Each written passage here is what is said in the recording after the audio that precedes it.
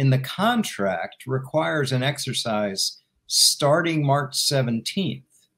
Now, normally that would just transfer to the Jets and it's not a big deal, but maybe there's a reason. Maybe this cannot be consummated until March 17th. It's the Ross Tucker Football Podcast. Oh, yeah, it is. But it's not just any Ross Tucker football podcast. It is a midday, terrific Tuckheads Tuesday edition of the mighty RTFP. And we've got Andrew Brandt in the house momentarily as we are still waiting for the smoke to come out in Florham Park, New Jersey. That indicates Aaron Rodgers will be there. You can bet Andrew and I will be talking a lot about what we think might be going on behind the scenes right now eh, momentarily. This is the second of three shows this week. You can already listen to the college draft podcast where Emory Hunt had a very interesting number one ranked running back. It's not who you think it would be. Listen to the college draft podcast. We also already recorded the even money betting podcast, which should be mandatory before anyone bets on March Madness or fills out a bracket or anything. Trust me, guys, gals, go ahead, listen to the Even Money podcast before you do that. It will help you out big time. Greg Cosell will join us on Thursday. Tomorrow, I'll be going over all the skill position signings with Joe Dolan on the Fantasy Feast podcast. So we got shows for you basically every day this week. We'll have new spread the word winner. That's someone that gives Ross Tucker Pod a Facebook review on facebook.com. And then we've got sponsor confirmation email winner. You can just send me a picture of you with a Labatt Blue Light or Labatt Blue, or you can actually go to the sponsor page at rosstucker.com, take advantage of any of those sponsors. And I love, love, love doing the video shout outs for you guys at youtube.com slash Ross Tucker NFL. Just thumbs up, comment on any video. Ross, I want one of those free free shout out videos you do for somebody. Bam. It's that easy. It's also big show time. The Big Show. All right, Andrew. You know this person. You've signed contracts with this person. You are on some level friends with this person, at least friendly. we need to get your thoughts. And I've been seeing you on Twitter at Andrew Brandt. Remember, I'm Ross Tucker. For those of you listening on the business of sports, we like to do a simulcast every few weeks because we just like to. We want to make sure business of sports podcast listeners check out the Ross Tucker Football Podcast, and Ross Tucker Football Podcast listeners need weekly Andrew Brandt on the business of sports, even when he's not here on the Ross Tucker Football Podcast. We are, I guess, 24 hours into quasi free agency, which that's a whole other question we'll get into. Why do they even have this period anymore? It's a total waste of time. We all know what's going on right now. But I'll start with this Aaron Rodgers, still not confirmed with the Jets. What do you think is going on here, Andrew? Yeah, Ross, always good to do this together, especially this time. It has been only 24 hours, but you would think Jets fans, and to some extent Packer fans, it's been 24 days. And it probably has been since the end of the season, since we expected an answer from Rodgers. What I think is going on, a couple things. Number one, it appears we only have one suitor for Aaron Rodgers, and let that sink in. Only one team has expressed interest that's the New York Jets. That really reduces the trade package that the Green Bay Packers are going to get back. Maybe they're trying to wrangle out some more trade assets in this deal where they're only negotiating with one team. What else could be going on? There's rumors about trying to get little Allen Lazard or Randall Cobb on that team as part of the Aaron Rodgers package and bringing his old buddies on the receiving side to the Jets, that would mean a Jets receiver or two would have to come back in the trade. That could be part of it. There's trade negotiations going on about multiple players, not just Aaron Rodgers. It could also be something where this option, getting a little technical here, in the contract requires an exercise starting March 17th. Now, normally that would just transfer to the Jets and it's not a big deal. But maybe there's a reason. Maybe this cannot be consummated until March 17th because the option exercise of Rodgers' money for 2023 starts on that day. So I don't know if that's part of it. But what we're learning is that Aaron Rodgers is a different cat. It's not going to go quickly. And maybe he's still thinking about options. But the last thing I'll say, Ross, is the one option that does not appear available to Aaron Rodgers. We talked about this for weeks now, you and I, and especially I have, is the Packers. It's not an option.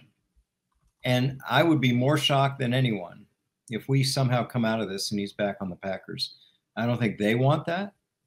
And I would think he doesn't want that. So, what is complicating all of this is that it's either trade or retire. And I don't see him walking away from $60 million, even though he's a different guy. So, it'll happen. Just seems when and how is the only questions left. You know, I was curious, Andrew, and wondering, like, what is going on? Like, what, why? Because they make it sound like everybody is waiting on an answer from Rodgers, you know, and, and yeah. I thought I saw your tweet, which I kind of agreed with, which was that the Packers and the Jets know what's going on. Aaron Rodgers knows what's going on, but for whatever reason, he's waiting before he actually announces it. I know that's very important to him. I would argue maybe irrationally important to him in terms of the information and where it comes from. Trey Wingo said that it's a done deal yesterday. Um, and Trey Wingo was the first one that had said that the Jets and Aaron Rodgers were talking. He was also the one two years ago that said if Randall Cobb comes back to the Packers and Aaron Rodgers will. That was back in 21. So Trey Wingo is pretty plugged in to Aaron Rodgers somehow, some way. He says it's done. Um, and I was kind of wondering what's going on. Now I almost think, Andrew, that Rodgers knows this is the most leverage he'll ever have, and he's trying to get what he wants in the form of Cobb and Lazard. And I guess I kind of respect it. And I'm not sure. I think it's probably done, Ross, like Trey said, but I'm not sure the compensation's done.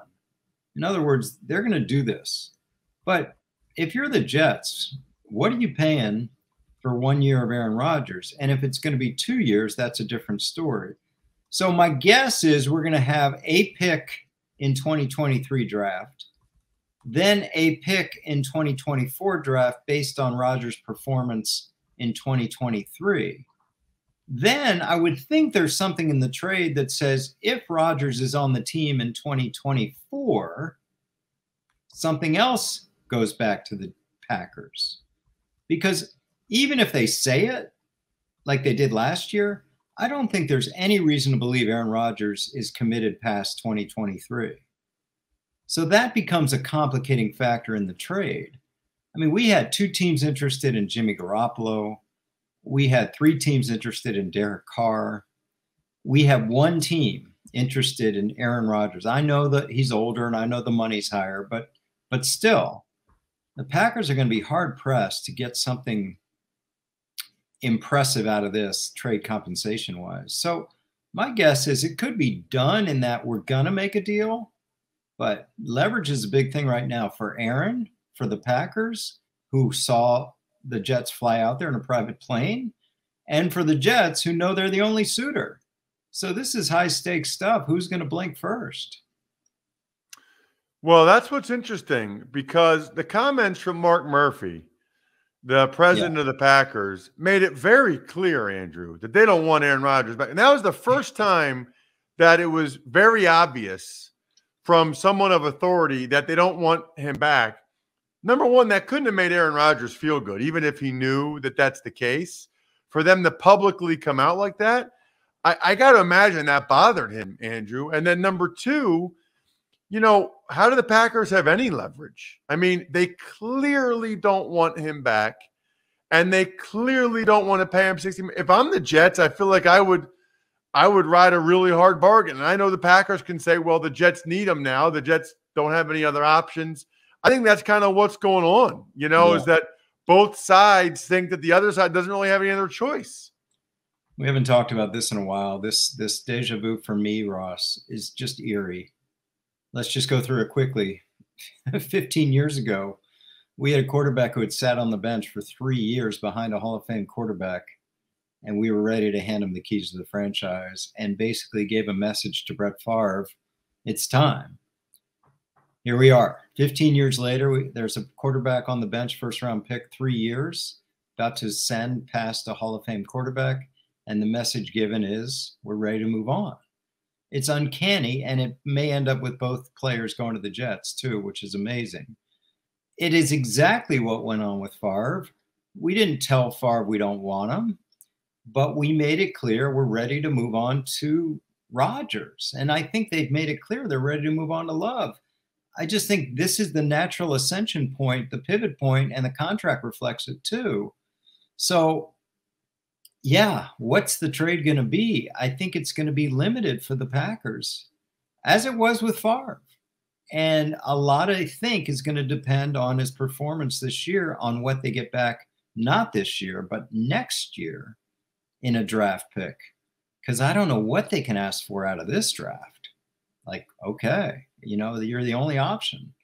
So maybe that's part of it. Like I said, maybe a receiver or two comes back in the trade because they're about to sign two Aaron Rodgers cronies as receivers, it seems like, with Lazard and Cobb. So we'll see. You know, if I'm paying him $60 million for one year, mm-hmm. Andrew, and I'm the Jets, I don't really want to give anything of value hardly for for Rodgers. I mean, I'm not giving up much in terms of a draft pick if I'm paying him $60 million, by far the most in the NFL for one year, right? Yeah. I mean, I know they're not going to try to get Aaron to take less. That would be a bad idea because he's got 60 million guaranteed. Why would he do that? So, unless the Packers can figure it out to somehow adjust his contract and pay some of that, I, if I'm the Jets, I'm not giving him 60 million and and a premium draft choice, right? Yeah, let's just make this clear. The Packers trade Aaron Rodgers, they're taking on a 40 plus million dollar dead money charge. That's extraordinary for the Packers. As someone who managed that cap for 10 years and avoided dead money at all costs, that's an extraordinary cost. It's going to be the second highest ever to Matt Ryan, the Falcons. If they do pay some of that contract, whether it's a dollar, 10 million, or 20 million dollars, that only adds to the dead money. So there's no way to get it less than 40 million which is going to be the biggest charge on the Packers cap by far. They can actually make it more than 40 million just to get good draft pick back by paying some of the salary because the only way to pay it is in a bonus. So that's going to be hard to do too. They're they're in a rock and a hard place, Ross, because they went all in last year for some reason. You know, this is what happens when you grovel to a superstar year after year, and now you want to move on. I don't know what they were thinking last year. Of course, he comes off two MVPs, but to get themselves in this situation, wow. I mean, the Packers went all in on a guy that was year to year at, at most last year. It's fascinating. It really yeah. is. Um, I do want to get your thoughts Ross, on some of the other things going on since we're in free agency, and really even last Friday evening, Ross, the trade which uh, on, was. Oh, go ahead. I'm, since we're co-hosting this, I want I want your opinion. What do you think will happen and when? Um, I think Aaron Rodgers will get traded to the Jets, and I think it will happen probably in the next 24 hours. For I what? think he is squeezing every ounce of the leverage out of it. And because he knows that once the trade happens, once he allows it to happen or says he's on board, he knows that he doesn't really have the, any leverage anymore. He can't re- really get the Jets to do what he wants to do. The, the most leverage, it's like I think you've tweeted this before at Andrew Brandt. I'm at Ross Tucker NFL. But, you know, the most leverage that any impending uh, free agent has for their own team is like the 30 minutes right before free agency starts, right? Right. Well, I think Rodgers has figured out that once he accepts the trade, once the trade's official, the Jets don't really have to do the things that he tells them to do. But now, right now, is when he has the ability to kind of make the Jets do what he wants. And whether that's just getting players to New York that he wants to play with, or maybe he's just hooking up his buddies. And honestly, it's so rare, Andrew, for a player to have this kind of leverage that I kind of love it. I mean, I kind of love when a player, you know, what's the old expression? Not as fun when the rabbits got the gun. Not as fun for the teams when it's the player Yeah. having the leverage over them. Rodgers did it last year. He's doing it this year. And I think it's hilarious. It makes me happy. You're so right. I mean, as someone who negotiated 10 years on the team side, it's rare when you don't have the leverage. It's rare. Most of the time, you're dealing with guys that'll take whatever you offer them, most of the time. And then sometimes you got to squeeze out a few hundred thousand here or there. But this is rare where they're like, yeah, Rodgers knows he's just going to be another player on a contract in a couple weeks. So, yeah, I get it. I agree with you on that. Um, I went from thinking it was annoying and not liking the way Rodgers was handling it to now, like I said, I I legitimately respect it on some level because he realizes how unique of a situation this is, and he's got certain players he's comfortable with, and he wants there. Now, the only thing that bothers me a little bit about that, Andrew, is like, well, what's wrong with Garrett Wilson, Elijah Moore, Corey Davis? You know, he hasn't played with those guys. They might be awesome. He might love playing with them, just like he learned to love playing with Christian Watson last year.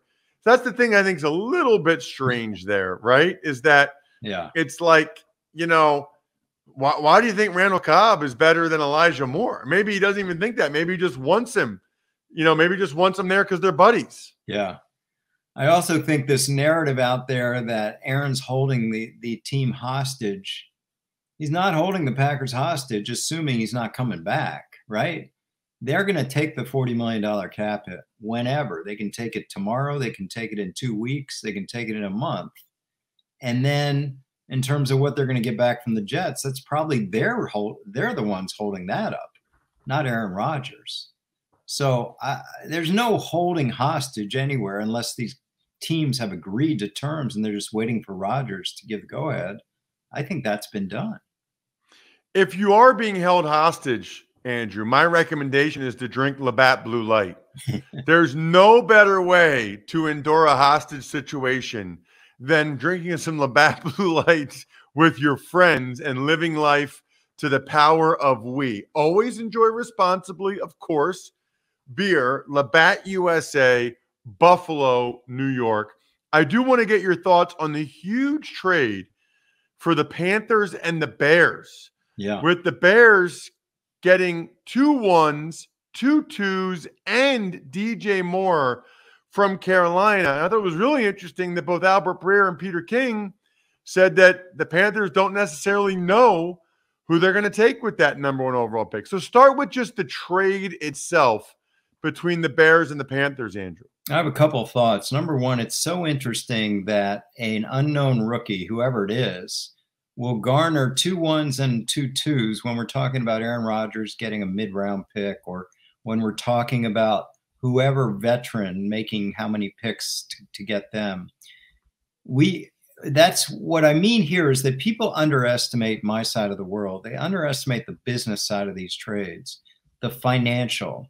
So if it's Bryce Young or CJ Stroud or whoever it is, they're going to make in four years less than Aaron Rodgers or Lamar Jackson is going to make in one year.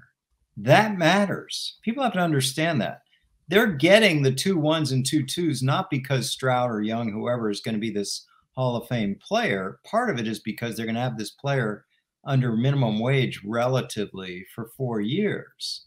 Again, I'll say it four years making less over four than Lamar Jackson is going to make over one. So people have to think about that aspect. The other thing that strikes me about the trade, Ross, is the Bears. The Bears have $100 million of cap room. The Bears, before DJ Moore, had one player making over 10 million, Eddie Jackson at 12 million something. They are by far the lowest payroll in the NFL. And at some point, they're going to have to pay someone to meet these minimum threshold standards for spending by teams. So they almost need to pay DJ Moore $20 million. And then they signed some free agents yesterday. They're going to sort of add to their payroll. But I've never seen a team like the Bears where going into last week, their highest paid player made $12 million. And they basically had a, a payroll of rookie contracts. So they're going to start paying people, and they have to right now. As for the Panthers, they're taking a big swing, and you know, you know the old saying, "Can't do anything without a quarterback." So that's the way they're going. Do you believe that they don't know who they're going to take with the number one overall pick? That there's a couple that they might choose from? I'm going to say they have a pretty good idea. you know, could always change, but I don't think they're trading up not knowing who they want. Honestly, I don't think I would feel good about it if I'm a Panthers fan if they didn't know who it was. Really? You traded all that? You don't even know who it is? You don't even know which guy it is that you like? Really? Remember I mean, that the, wouldn't make me feel real good yeah, if I'm the, a Panthers fan. The 49, um, the 49ers traded three picks to get to number three, and then they acted like they didn't know they were going to take Trey Lance. I, I never believed that one. I never understood that whole situation at all. Last thing, Andrew, you talk a lot about the Rams. Mm. Well, we're seeing the other side of it with the Rams now. They had to trade Jalen Ramsey to the Dolphins, and it feels like those teams are almost switching, right? The Rams are going more to a getting draft picks to rebuild this thing, whereas the Dolphins are more all in with Tua on the rookie contract.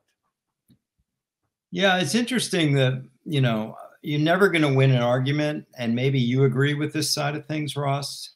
The quote, but they won a Super Bowl. You're never gonna, you're never gonna uh, get those people to convert. I get it, but that team now they're old, they're cap strapped, and they got to start over. They basically are going to try to be the, the Chicago Bears for the next couple years.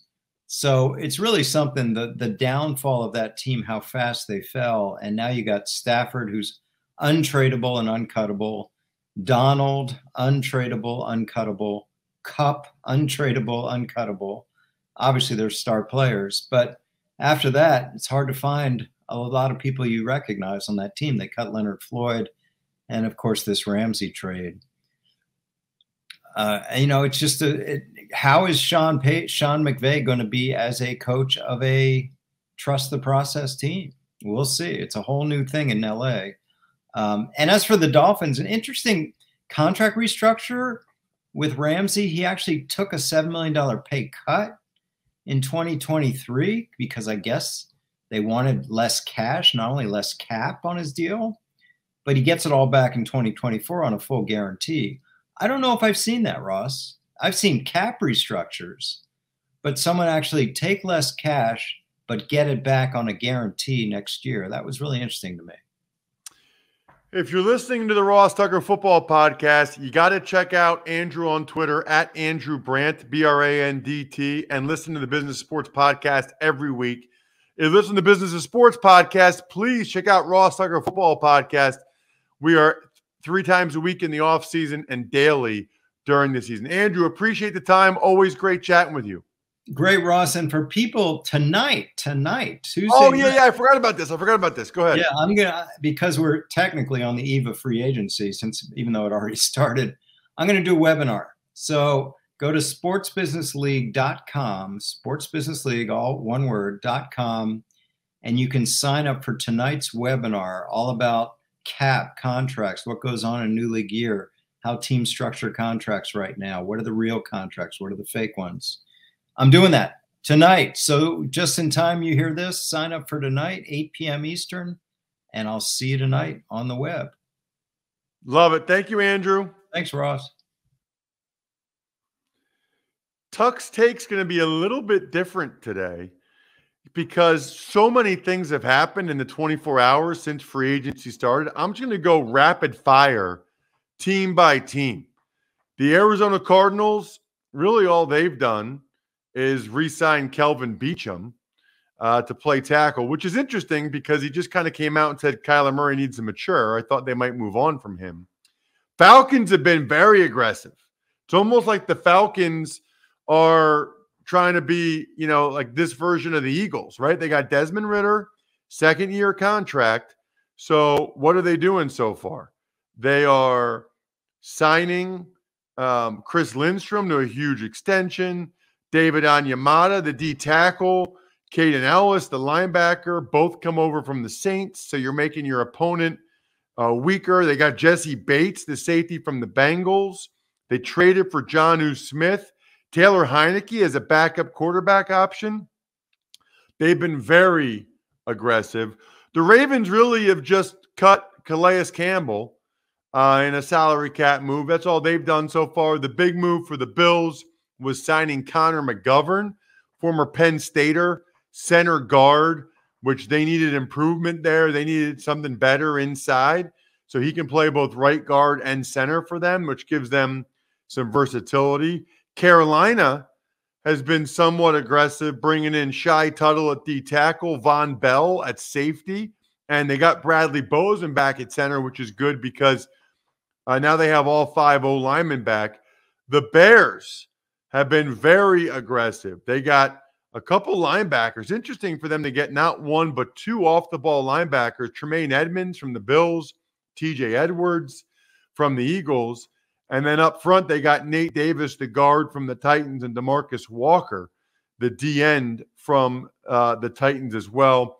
Bengals have really just re signed their own, Jermaine Pratt at linebacker, but they lost both safeties. They lost Bates and Bell. The Browns have some money, they're using it. Ethan Pocic is back at center. They got Dalvin Tomlinson, a run stuffing D tackle that they desperately need. And Okoronkwo, Okoronkwo, the linebacker from the Texans. Cowboys have done nothing. Broncos, one of the very spendy teams. Jarrett Stidham is a backup quarterback. Manhertz is a blocking tight end. Two O linemen in McGlinchey and Powers. Zach Allen at D lineman, who I really like, and then Alex Singleton. Good for him, man.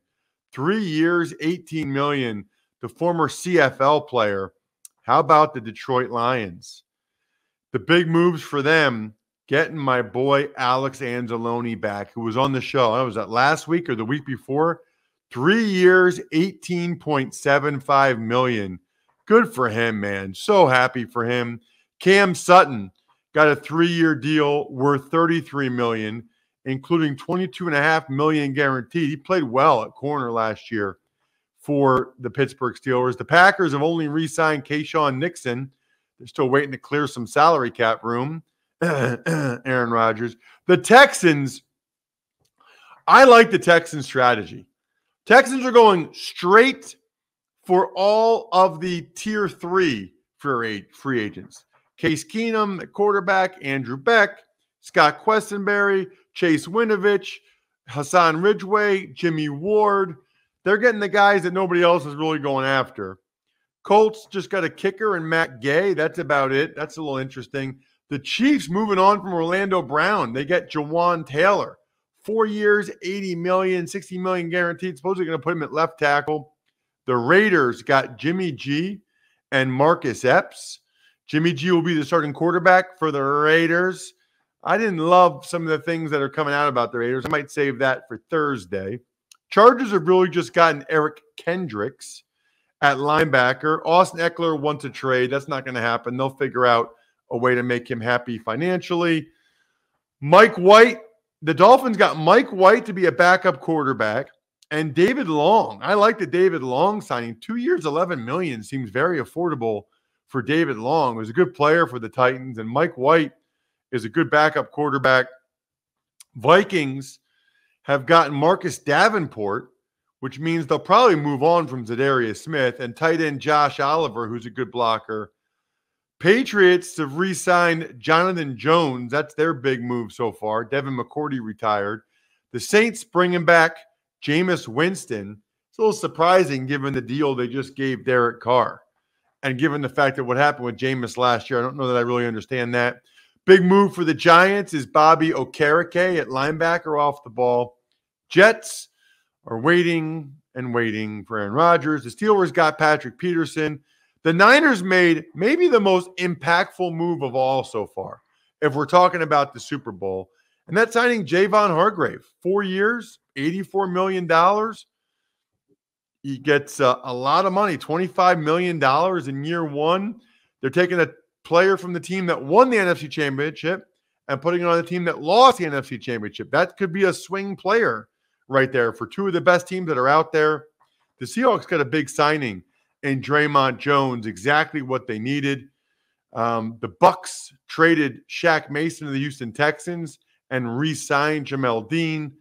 The Tennessee Titans have signed Andre Dillard. He'll be their left tackle now. That's an interesting fit with Mike Vrabel.